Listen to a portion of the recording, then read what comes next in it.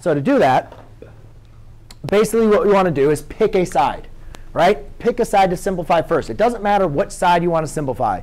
Um, and basically, guys, these are both rational expressions. They both look about the same, right? I would say if knowing what I kind of know, I'm going to pick the left side. And it doesn't matter if you want to pick the right side and start doing something on the right side. Again, as long as you're doing operations that just simplify, you're not going to change the actual answer. Yes, Kiana? OK. So the reason why I chose the left side is because I see that this has a um, binomial in the denominator.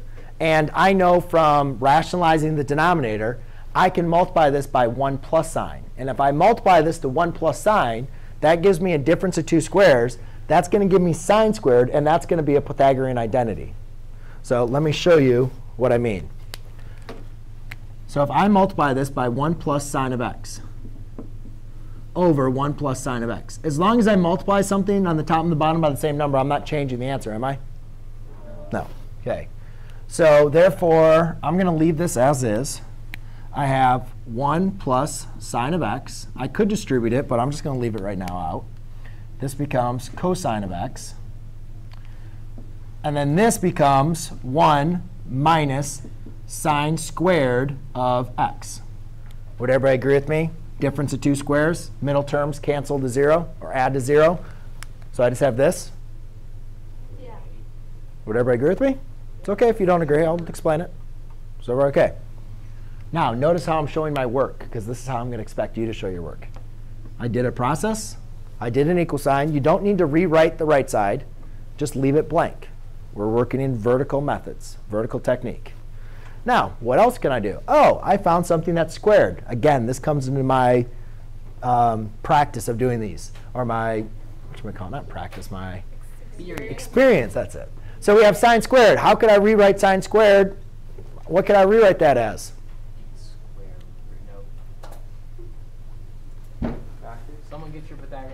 Well, what's your Pythagorean identity? Sine squared plus cosine squared equals 1. 1. So if you subtract a sine squared on both sides, you'd have cosine squared equals 1, 1 minus sine squared. So therefore, I have 1 plus sine of x times cosine of x. This, using my Pythagorean identities, is cosine squared of x. So 1 minus sine of x squared is... Doesn't make sense? Do you have your Pythagorean identities out?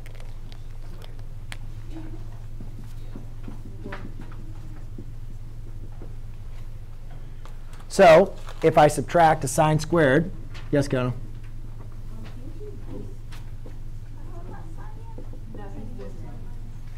I'm listening.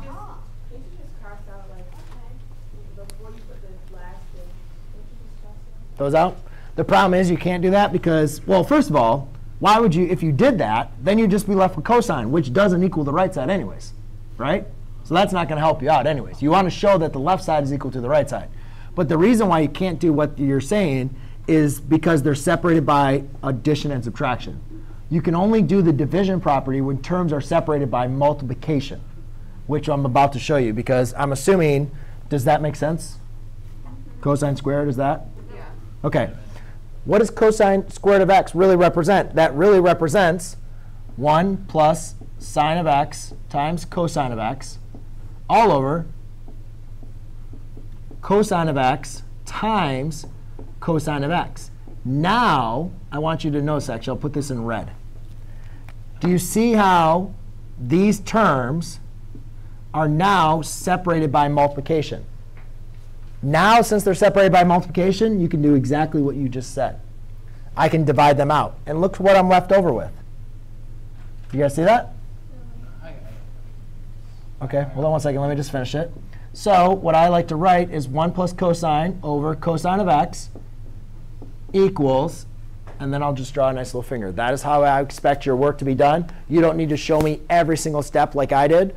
Um, but I do need to be able to follow you mathematically to make sure you arrived at it. So that's how I expect your work on a test. That's how I expect your work on your homework. OK, Andrew? Yes? Okay. All right. So I got to the point where it says 1 plus sine of x times cosine of x over 1 minus sine of x.